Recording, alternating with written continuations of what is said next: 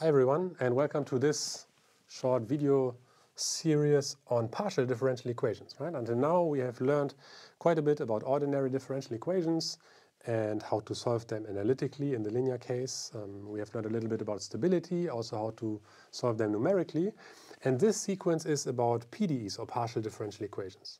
Right? And before we dive in also into the numerics, um, I would like to take this first introductory video to tell you a little bit about what's even behind these equations, why they are so interesting, and also why they are very hard to, to work with. Um, so here is two examples of ODEs or ordinary differential equations. And the specific characteristic of ODEs is that we have a single independent variable. Right? In the context of dynamical systems, this is usually time t. Doesn't have to be time t, can be any variable, but usually we are using time as the independent variable.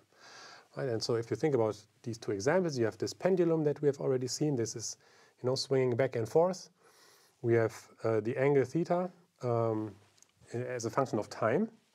So the system state is described by um, the angle, which is a function of time, and the angular velocity, which is also a function of time.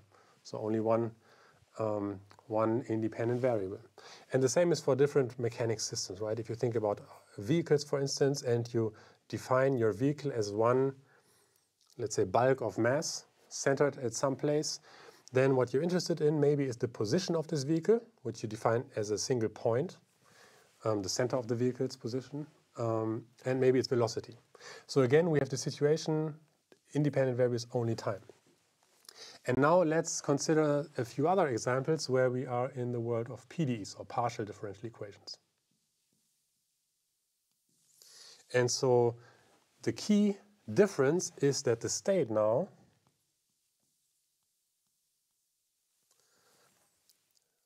the state depends on time and space.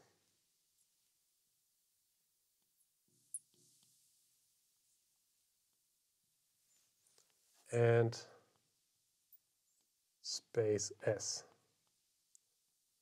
Okay, so again, partial differential equation, uh, the, the, the more mathematical intuition would be we have more than one independent variable could be two spatial variables and so on. But since this is a lecture series about dynamical systems, I'm going to use this as my definition, let's say. We don't have one independent variable time, but we have additional independent variables space. Again, formally, it's just you have more than one independent variable. But for this purpose, this is what we're going to, to, to use. So let me draw two small pictures. I hope you can recognize what I'm drawing here.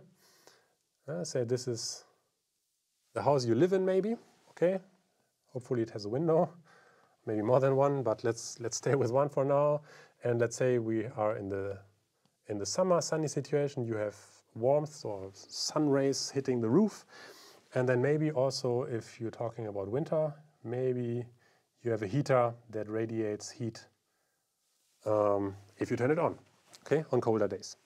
So we have a system and what we are interested in is maybe the room temperature. Okay, so let's call this the temperature T. And obviously, the temperature in this description in my room does not only depend on time T here, right? It's also important where I measure the temperature, right? So in near the, the radiator or my, my heating device, the temperature is likely higher than maybe near to the window where cold air may come in, right? And on the other day, next day, maybe different sun conditions, or maybe you know, the outside temperature is different. Uh, the temperature distribution may also be different, so it also depends on time. So the temperature T is now a function of the position S as well as time T. Okay, so and now position might be maybe two-dimensional in this example, Oh, it's very hard to read, I guess, but you get the idea. Left, uh, right, and up, down. But this is the idea, okay? So the temperature is not so easily described by just x of t, because, well, the temperature can be described everywhere. And so this is not the single example. We have many, many more examples. Um, consider this poor attempt at drawing an aircraft, where we have this wing made now. And so this is the second wing. Okay, so we're flying left, and we're not interested in the aircraft itself. This may be described maybe by position and velocity, but we are uh, interested in aerodynamics, right? So you have fluid entering, or you know, attempting the aircraft, and you have a distribution of the air, and it's going over the wing, maybe it's going below the wing. So if you're interested in this type of situation, in the velocity of the fluid around the aircraft or the air pressure, which is really important to know, determine whether the aircraft will lift or, or, or go down, you have the air velocity v, which is different in places and also in the time. So velocity as a function of space and time. And also the air pressure p can be a function of space and time. Okay, so you see here two very prominent examples. We have these, and we can um, talk a little bit more about other examples later on. But you see already, you know, we have space and time dependency, which makes this a little bit more complicated. Because what we need to study besides the time interval is a region of interest.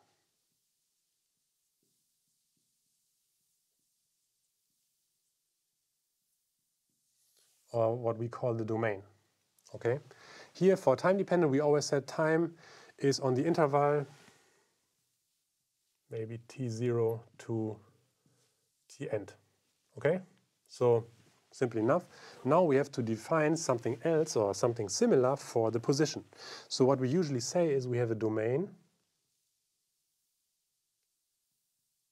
which we denote by omega.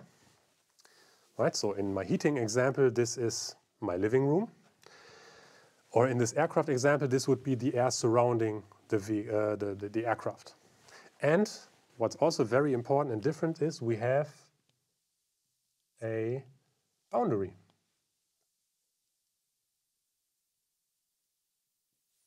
which we call usually gamma, right?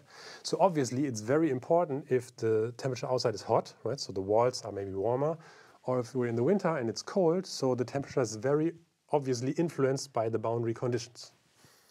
And so this is how PDEs work, and this is why they are more complicated.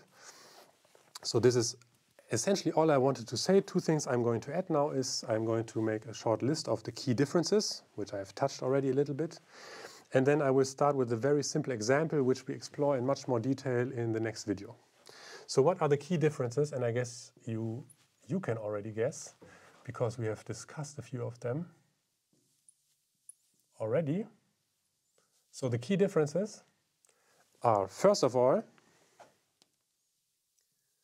my right-hand side, right? We are going to discuss this in a little bit more detail, but in, for ODEs we had x dot of t is f of x of t, right? So the right-hand side is just a function of the state itself. Here on my right-hand side, and I'm going to abbreviate this with RHS, the right-hand side, which is here the F, um, contains partial derivatives with respect to space. Right, so what we have is partial derivative of x with respect to s, second order derivative, and so on. Right? So key difference. The right-hand side, we will see that you can phrase it sort of as an ODE, but the right-hand side has these partial derivatives. It's not only derivatives with respect to time. Then the second thing is boundary conditions. Right? I, I sorry, I discussed this already. But this is really, really important, the boundary conditions. This is something we do not have in, in ODEs. We, here we have an initial condition, and we need this two here, but we in addition have this boundary condition. And then the third thing, which is a little bit more intricate, but it's, which is very, very important because this makes PDEs more expensive and harder to solve. At every point in time, right, let's say the space is free now, but the time is fixed. So this is the temperature distribution in my entire room for a fixed time t, this is infinite dimensional.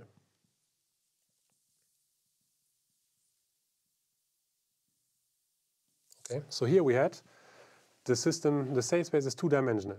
Here it is two-dimensional. And maybe you can define an ODE which has 100 dimensions. In molecular dynamics, for instance, you can go up to thousands and so on, no problem. Still, it's finite. Here, at every point in time, the state is still a function of space. So the temperature can be defined everywhere, so at infinitely many points, which makes it more complicated. And so to conclude, let's introduce a very simple example, but I'm not going to derive anything, I'm just going to state it, um, which is heat transport. And this is the example we are going to consider in the next video as well. So let's consider, and this is a very simple example, we are going to consider a, a rod. Let's say this is a very thin and long piece of metal maybe. And the only variable we are interested in, so position-wise, is the vertical direction. And so this rod has a domain, right? So what are we interested in? It's the interval from 0 to L, so it's a rod of length L. But this is an open interval now. Why? Because we have boundary conditions. Gamma 1, let's call it, is the temperature on the left-hand side. And we have a second boundary condition, gamma 2, on the right-hand side. Right? So this is um, the 0, which is excluded in the interior, and this is the L, the stated position L, which is also excluded from the interior. And what you have then is sort of this, again, an initial value problem. We have the heat equation, and we will see where it comes from. So dt partial derivative of the temperature with respect to time is defined by a heat transfer coefficient, so metal has a quicker transfer than wood, for instance, times the second derivative of the temperature in space. Okay, and so we will see, this is what I said here, point one, the right-hand side depends on Uh, partial derivatives. And we will see how this comes into play later on. What's now important is the temperature at specific points in space at time zero is defined as some T0 of S. So we have an initial temperature distribution and we also have these boundary conditions. So we say T of zero at arbitrary time is some sort of T, let's call it left of t and t at position L and time in a similar manner. Okay, so this was a, let's say, rather superficial introduction into PDEs, not deep mathematics, but just to give you an idea what are the really the, the main differences. And I hope this gives you a good idea why this is relevant. Right? We have many, many systems like heat transport, aerodynamics.